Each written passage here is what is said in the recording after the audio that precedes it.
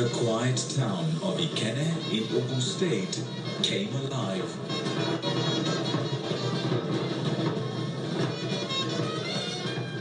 It was a mix of fun, excitement, pleasure, and entertainment as sons and daughters of the town, both home and away, converged to celebrate the 2018 Ereke Day.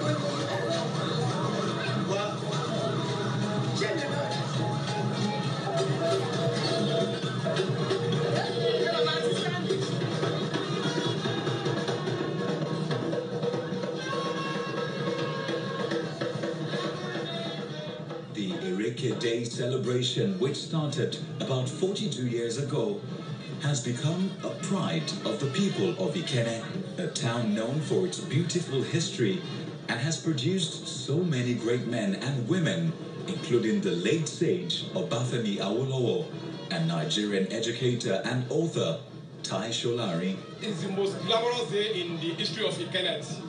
With Ikenet, we so much cherish these days that all over the universe, even in UK, as we are celebrating it here today, it's being celebrated in UK, America, Athens, all over. Every corner, look at corner of the uh, universe that we have the indigene of this town. We normally mark the first Saturday of November, every first Saturday of November, to mark this annual festival.